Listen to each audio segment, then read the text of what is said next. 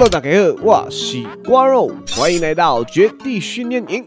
求生者们是否在收集物资时很难取舍，到底要不要换枪使用呢？如果你有遇到这个问题，就必须要来了解一下这集。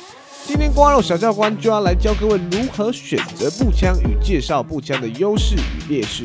这一集就是各位期待已久的训练营绝世步枪大解析。那一样话不多说，直接看下去就对了。Let's go！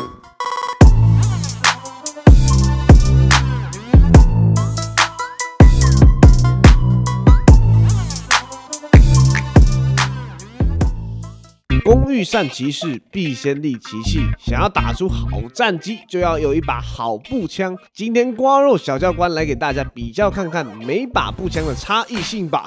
首先，我们来到绝地训练营，选好你的步枪，装上倍镜，找一个训练靶进行射击，我们就可以清楚看出这把枪的弹道轨迹了。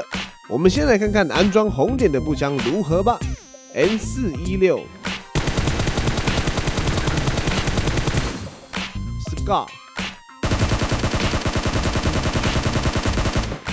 AKM N 一六 A 二，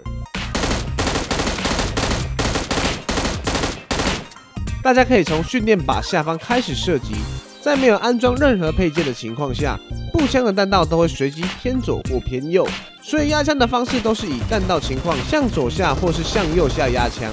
如果有在追随绝地训练营的求生者，应该都很清楚压枪方式。如果还不熟悉的话，记得要去看第一季的影片。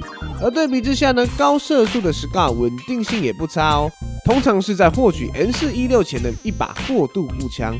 不过无配件的情况下，稳定度就稍微偏低一点点的。但如果是喜欢射速快又可以秒杀对手的步枪，朋友们就可以试试看 Scar。而同样也是高射速性能的 AKM。相较之下，稳定性就稍微更差了一点。但 AKM 的优点就是比其他的步枪杀伤力高上许多。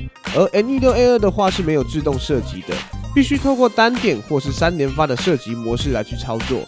但 N16A2 是非常适合在中远距离点射的。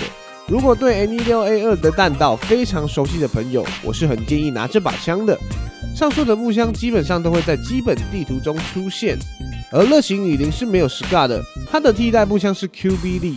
雪地地图的 Scar 替代步枪是 G 三六 C，两支步枪都有其优点，我们就先来看看它的弹道状况吧。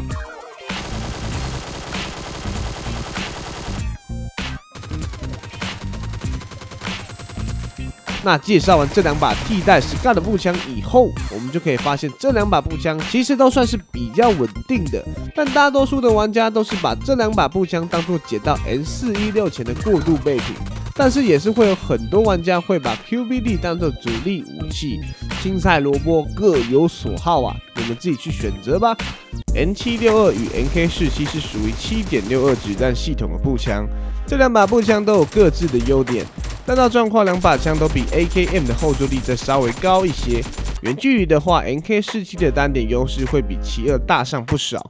但基本上，我个人还是建议拿 AKM 的，因为 AKM 的弹道还是我比较习惯的，也是因为 AKM 后坐力优势较大，也较好压枪。